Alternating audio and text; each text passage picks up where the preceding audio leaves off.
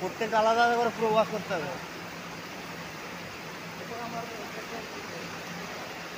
বারো নম্বর পর্যন্ত